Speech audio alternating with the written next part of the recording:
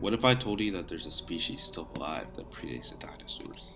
What if I told you that some of its species are larger than blue whales while others are invisible to the human eye? What if I told you that one species is biologically immortal? Another species is the most venomous marine animal in the world and can kill a human in two minutes. And get this one species has 24 eyes. Yeah, I bet you're wondering what I'm talking about. Well, I'm talking about jellyfish. Yeah, the bioluminescent, free swimming marine animals with a bell shaped head and stinging tentacles that live all around the world. They've inhabited the ocean for 500 to 700 million years, and many scientists speculate that there could be as many as 300,000 species of jellyfish that haven't been discovered yet. Jellyfish are genuinely magnificent creatures, but what if I told you that I haven't even got to the best part? Jellyfish may be the key, not to my Toyota Camry, but to a new source of renewable energy. Back in July, I introduced you to a young man who is not even in college yet, but he knew a lot about the presidents of the United States. And tonight, he is back with a new area of knowledge. Please welcome 18-year-old whiz kid Brandon Adiele. Hello, Brandon. How you doing? I'm doing well, Jimmy. Thanks so much for having me on the show.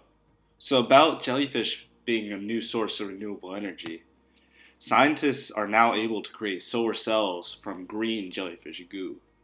By Jellyfish goo, I'm referring to green fluorescent protein, or GFP, found in some bioluminescent jellyfish. Jimmy, brilliant scientists such as myself, are now capable of blending thousands of jellyfish and then extracting GFP from them. Typically, to create electricity from photons, we must use silicon solar cells or Gratzel cells. Silicon is the second most abundant element on Earth. However, it's a semiconductor, and it must be aided by expensive materials to efficiently conduct photons.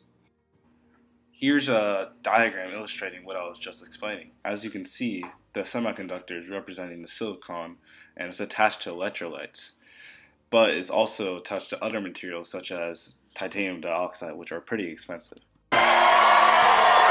However, GFP can substitute these cells. By adding a drop of GFP onto aluminum electrodes within a silicon dioxide substrate, the GFP is able to assemble itself into strands around the electrodes. Then, once it's exposed to ultraviolet light, the GFP absorbs the photons and then emits the electrodes around a circuit, producing electricity. You still with me, Jimmy? Anyways, this would simplify the design of solar panels and drastically reduce the cost. Scientists are also experimenting with GFP to produce fuel cells with a light emitted with chemicals rather than a standard external light. This method could power nano devices that would operate independently in the human body to help fight tumors and diagnose diseases.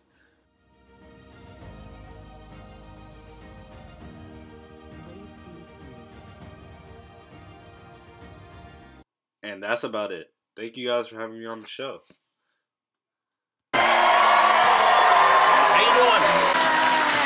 Astonishing.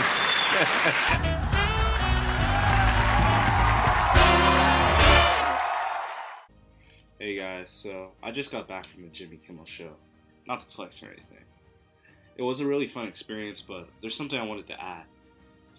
For all of you animal lovers and Carole Baskins out there, Yes, we are blending up thousands of jellyfish just to extract GFP, but it's fine because jellyfish are actually becoming a huge problem due to a phenomenon called jellyfish blooms. The population of jellyfish has exploded all around the world. It has gotten so bad that they've shut down nuclear power plants in Sweden and the Philippines by clogging up the cooling systems. They've also destroyed millions of dollars worth of fishing by sowing the boats, stinging the fish, and even messing with the nets. Jellyfish are highly adaptive because their body is 95% water, while the rest is for the bare minimum so they can eat and float around the ocean.